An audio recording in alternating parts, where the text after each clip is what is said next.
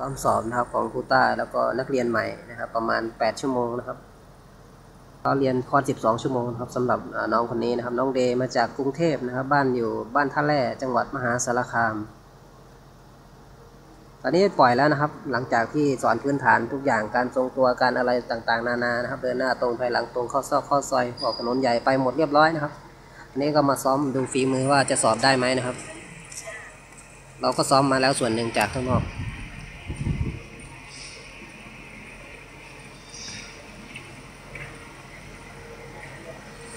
สนใจเรียนก็ติดต่อเข้ามาที่เบอร์นะครับ 0883350072 นะครับ เบอร์คูต้านะครับ เป็นทั้งไลน์เป็นทั้งเบอร์นะครับ โทรเข้ามาได้นะครับ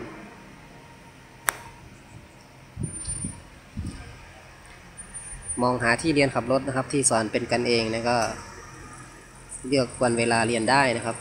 เลือกสถานที่นัดนับส่งได้นะครับ สอนได้ทุกที่นะครับ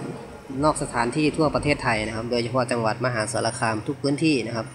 อยากเรียนก็โทรหากันได้เลย ไม่ว่าจะเป็นรถอะไรก็ตามนะครับ เป็นรถท่านเองหรือรถกระบะรถเก๋งรถอะไรก็มาคุยกันได้นะครับ อันนี้เป็นด่านทรงตัวตรงเดินหน้าตรงภายหลังตรงนะครับ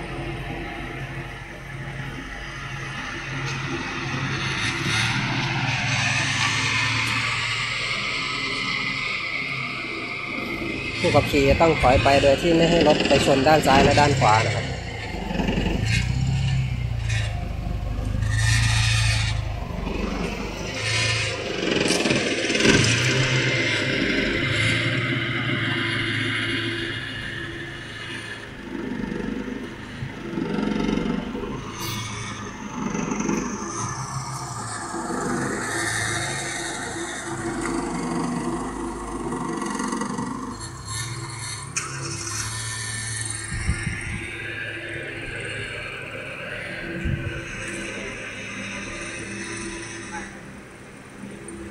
แล้วก็ถอยม้วนตัวตั้งหลักนะครับ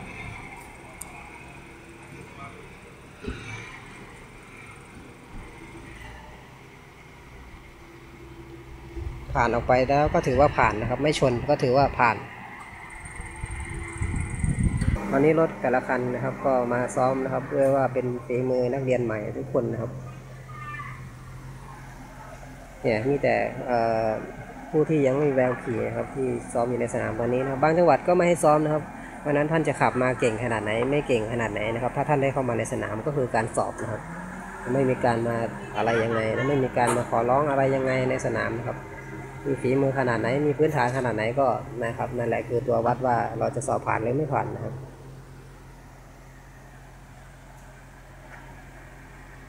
คนที่เดินหน้าได้อย่างเดียวนะครับ ก็แนะนำให้มาเรียนนะครับมันจะได้ นะครับจะได้ถอยหลังมันจะได้อะไรได้ ไม่เป็นภาระคนอื่นเขานะครับ ในขณะที่เราไปขับบนถนนนะครับโอ้ยเสียงหมดแล้ววันนี้ เสียงไม่เข้มแข็ง แต่ว่ายังเข้มแข็งเหมือนเดิมนะครับปูตาสำหรับด่านที่หนึ่งนะครับรถคันแดงนี้กำลังอยู่ในด่านที่หนึ่งก็คือตัวรถจะต้องเหยียบเช่นสีแดงด้านซ้ายนะครับ ถึงจะผ่านได้นะครับ แล้วก็รอคำตัดสินแล้วก็ไปต่อนะครับนี่คือผ่านแล้วนะครับเมื่อกี้นี้นะครับ ส่วนคันต่อไปก็จะขยับขึ้นมาแล้วก็เนี่ยครับ ก็กำลังขึ้นไปนะครับจะเร่งคันเร่งมั่วนะครับตอนนี้จริงๆการออกตัวไม่ต้องใช้คันเร่งนะครับ คนที่มีพื้นฐานดีแล้วจะรู้นะครับ คนที่ไม่มีก็มักจะไปเร่งเบื้อนเบื้อนเบื้อนเบื้อนแต่รถไม่ไปนะครับ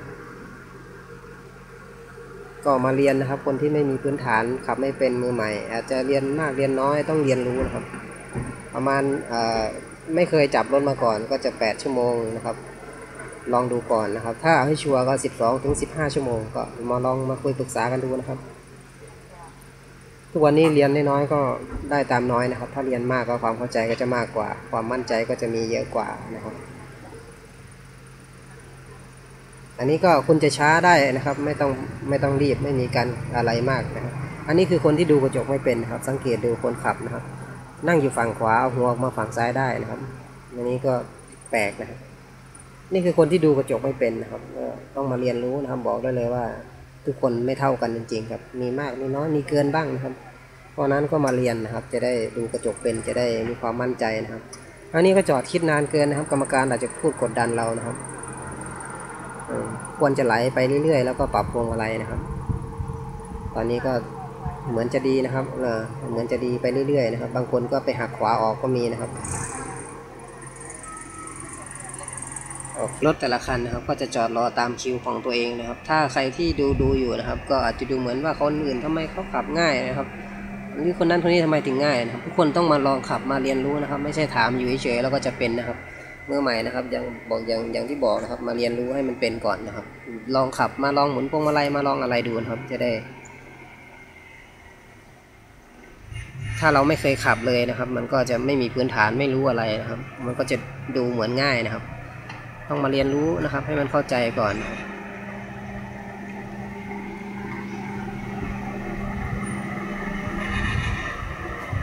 เนี่ยตั้งหลักให้ตรงนะครับ ไม่ถ้าตั้งหลักไม่ตรงผลกระทบต่อการเดี๋ยวถอยหลังก็จะเบี้ยวไปด้วยนะครับ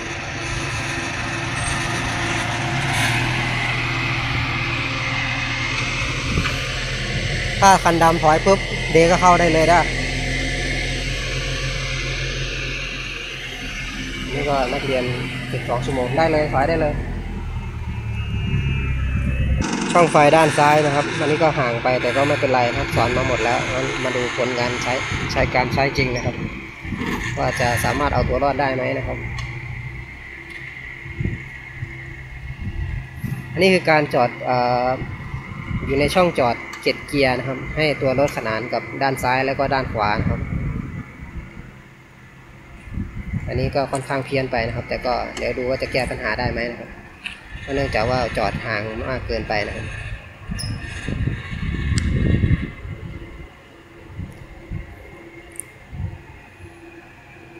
แก้ปัญหาได้อยู่นะครับ แต่ว่าก็ผู้ขับขี่ต้องระวังหลังด้วยนะครับ ไม่ใช่ว่าจะดูแต่หน้ารถอย่างเดียว ห้ามชนนะครับ ทุกเสาเวลาสอบห้ามชนนะครับ อันนี้กว่าจะมาถึงขั้นนี้ได้ก็ฝึกมาเยอะแล้วนะครับ ทุกอย่างมันมีการฝึกมาหมดแล้วนะครับ ส่วนการใช้งานจริงก็มาดูว่าจะทำได้ร้อยเปอร์เซ็นต์ไหมกี่เปอร์เซ็นต์นะครับ ถ้าไม่พอก็ไปเรียนเพิ่มนะครับ ตัวรถจะต้องขนานนะครับ ตอนนี้รถยังเบี้ยวอยู่นะครับ ดูจากตรงนี้ก็รู้ครับว่าเบี้ยวอยู่ผู้ขี่ต้องปรับรถให้ขนาน แล้วก็จอดรถให้ตรงเก็บล้อด้วยนะครับ เบี้ยวหนักเพราะว่าถ้าไม่คืนพวงมาลัยนะครับ อ่า นี่มีการคืนแล้วนะครับ ดูว่าจะผ่านได้ไหมนะครับ ชนเสาหลังนิดนึงนะครับ เวลาสอบจริงก็ชนไม่ได้นะครับ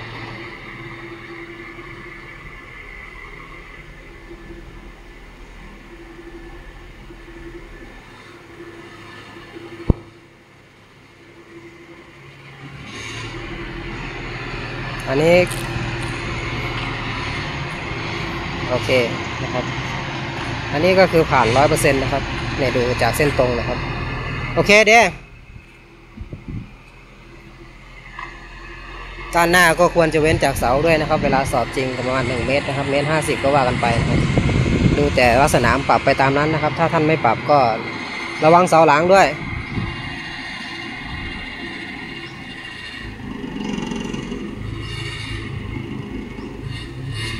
ถอยชนหลังตลอดเลยมันถึงจะเบรกมือใหม่ยังกะไม่ค่อยถูก พอเสร็จแล้วก็เอารถออกจากตำแหน่งนี้ห้ามเฉียวชนเหมือนเดิมนะครับ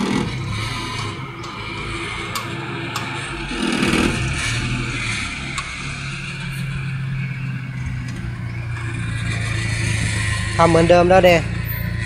รอบสุดท้าย